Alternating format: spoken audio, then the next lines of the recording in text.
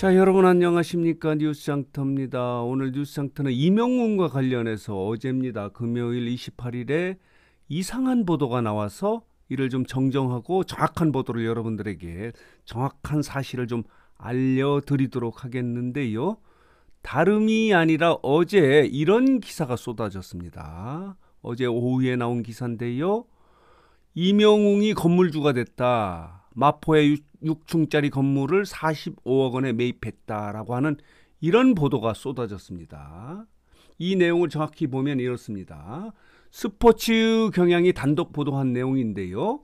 지난 3월에 마포구 인근에 6층짜리 건물을 45억 원에 매입했는데 이 건물의 명의는 회사 명의인 물고기 뮤직이 매입을 했다. 이렇게 보도를 했습니다. 그러면서 물고기 뮤직은 이명웅이 소속된 1인 기획사다. 마치 명의는 물고기 뮤직이지만 실제는 이 건물주는 이명웅이처럼 이렇게 자극적인 기사를 쓴 거예요. 제목을 이렇게 다른 거예요. 그런데 얼마 후에 바로 이런 보도가 나오지 않았습니까? 이명웅이 45억짜리 마포구에 건물을 샀다는 내용은 이명웅이 산 것이 아니고 소속사가 산 것이다라고 하는 소속사의 정정 보도가 나온 거예요. 소속사에 따르면 이렇게 소속사가 멘트를 합니다. 이명웅이 건물을 매입한 게 아니라 물고기 뮤직 법인에서 법인명으로 매입한 것이다라고 공식 입장을 밝힌 거예요. 말하자면 오보인 겁니다.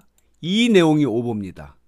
이명웅이 건물을 산 게 아니고 이명웅이 소속한 물고기 뮤직이 건물을 산 겁니다. 여러분 예를 들어서 어, JYP나 예를 들어서 어, SM이나 어느 기획사가 건물을 사면 그 소속사의 연예인 건물입니까? 그렇지 않습니다. 소속사와 그 소속 연예인은 분명히 독립적인 관계예요. 계약 관계이긴 하지만 그 기획사가 건물을 산 것이 그 소속 연예인의 건물은 아니죠. 마치 이 기사는 이명웅이 3월이니까요. 지난해 3월에 미스터 트롯에 진이 된 이후 1년 동안에 이렇게 엄청난 떼돈을 번 것처럼 이렇게 기사를 쓴 것은 이명웅의 어그로를 타기 위해서 이렇게 기사를 쓴 거예요. 말하자면은 이명웅의 이름으로 제목을 달면 조회수가 늘어나니까 클릭수가 늘어나가니까 이렇게 제목을 단 것이 아닌가. 이것은 아 이건 좀 문제가 있다고 봅니다. 아무리 언론사가 조회수를 늘리고 하려고 한다 하더라도 이명웅의 소속사가 건물을 산 것을 이명웅이 건물주가 된 것처럼 이렇게 보도하는 것은 명백한 오보입니다. 다시 한번 설명을 드리면 이렇습니다. 어, 물고기 뮤직이 에, 공식 입장을 밝힌 내용은 이명웅이 건물을 매입한 것이 아니라 물고기 뮤직 법인에서 법인명으로 매입한 것이다.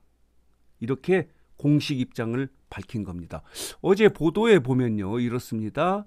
요 아래에 보면은 이명웅 미스터트롯 우승 1년여 만에 건물주 45억 원 건물을 매입했다. 이런 보도가 쏟아지고 있습니다. 자, 보도록 하겠습니다. 이렇습니다.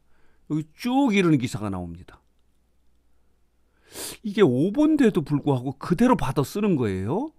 그런데 자, 보도록 하겠습니다. 잠시 후에 몇 시간 후에 이런 보도가 또 쏟아집니다. 자, 아까 본 내용인데요. 사실이 아니다. 이런 얘기죠. 자, 보도록 하겠습니다. 이런 기사입니다. 여기. 어, 이명웅 마포구 건물 샀다? 사실 아니다. 소속사가 매입한 것이다. 여기 또 보이시죠? 어, 스타투데이에서도 이명웅 측 마포구 건물 매입 소속사가 한 것이다. 어, 이명웅이 45억 건물 매입 소속사가 공식 입장을 밝혔는데 회사가 매입한 것이다. 이렇게 연이어서 나온 겁니다. 아까 보시겠습니다. 이게 어, 어제 오후에 한 5시쯤인가 나온 기사인데요. 스포츠 경향이 단독 보도한 이후에 이렇게 주르륵 예를 들어서 따라서 보도를 한 이후에 다시 어, 소속사가 공식 입장을 밝혀 밝힘으로 인해서 소속사가 건물을 매입한 거지 임영웅이 매입한 것이 아니라고 하는 거. 아, 이게 큰 문제입니다. 마치 이 이명웅이 어, 미스터 트롯에 진이된 이후 1년 만에 떼돈을 벌어서 건물을 매입했다면 이명웅이 건물을 매입했다고 그러면 보통 어, 소속사와 연예인의 어, 지분 관계가요. 수입의 4대 6, 6대 4 이렇게 하지 않습니까? 어, 처음에는 연예인이 6, 소속사가 4. 그리고 아주 유명해졌을 경우는 연예인이 7, 어, 그 다음에 소속사가 3. 이런 비율로 수익을 나누거든요.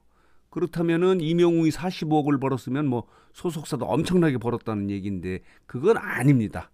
정확하게 말씀드리면 이명웅의 소속사가 마포구에 역세권에 45억 원짜리 건물을 사서 이제 정식으로 그동안에는 지하 새방에서 소속사를 운영하다가 이명웅의 소위 말하 이명웅이 대세 가수가 됨으로 인해서 많은 수익을 올려서 이명웅의 소속사 물고기 뮤직의 이름으로 마포구에 6층짜리 건물을 샀다는 것이 정확한 사실입니다. 그래서 이명훈과 관련해 어제 이상한 기사가 이렇게 번복해서 나와서 이것을 좀 정리해서 말씀을 드렸습니다. 정확한 보도는 이명웅의 소속사 물고기 뮤직이 지난 3월에 마포구 역세권에 6층짜리 건물을 45억 원에 산 것이다라는 것이 정확한 사실이어서 이것을 바로 잡아서 여러분들에게 말씀을 드렸습니다. 자, 오늘 뉴스 장터는 간단하지만 이명훈과 관련해서 어제 이상한 기사가 나와서 정정, 수정해서 여러분들에게 바로 잡아서 말씀을 드렸습니다. 자, 오늘 뉴스 장터 영상은 여기서 마치겠고요. 마지막으로 뉴스 장터를 혹시 아직 구독하지 않으신 분들께서는 구독, 좋아요 꼭 부탁드립니다.